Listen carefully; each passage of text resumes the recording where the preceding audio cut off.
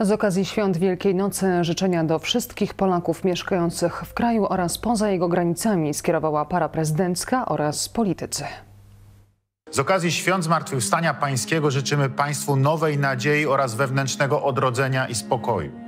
Niech te szczególne dni przyniosą wytchnienie od trosk dnia codziennego, aby z nowymi siłami realizowali Państwo swoje tegoroczne plany i zamierzenia. Mówił prezydent Andrzej Duda. Zdrowia i szybkiego powrotu do normalności po pandemii życzył wszystkim Polakom premier Mateusz Morawiecki. Życzę wszystkim moim rodakom w kraju i za granicą zdrowych i bezpiecznych świąt.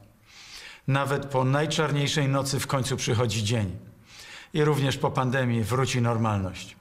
Wszystko jest w naszych rękach. Byśmy kolejne święta Wielkiej Nocy spędzili już bezpiecznie w gronie najbliższych, życzyła minister rodziny i polityki społecznej Marlena Maląg. Życzę Państwu przede wszystkim radości, dużo zdrowia i spokoju w tym wciąż niełatwym czasie.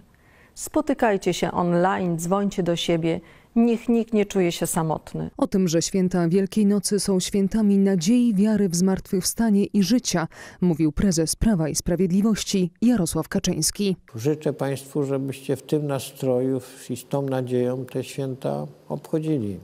Z ograniczeniami trzeba ich przestrzegać, ale z pełnym przeświadczeniem, że to, w co wierzymy, albo nawet jeżeli nie wierzymy, to przynajmniej przestrzegamy pewnych tradycji, jest dla naszej przyszłości, ale także dla przyszłości dzieci, wnuków, przyszłych pokoleń, nawet tych, których jeszcze w tej chwili nie ma wśród nas, bardzo ważne i rozstrzygające. Minister Sprawiedliwości i prokurator generalny Zbigniew Ziobro życzył, by w te święta w sercach i domach wszystkich Polaków zagościła nadzieja, pokój i radość. Składam Państwu najlepsze życzenia, wszelkiej pomyślności, obfitości łask Bożych, pokoju ducha i być za sprawą zmartwychwstania Pańskiego, czyli zwycięstwa dobra nad złem, jasności nad ciemnością, życia nad śmiercią.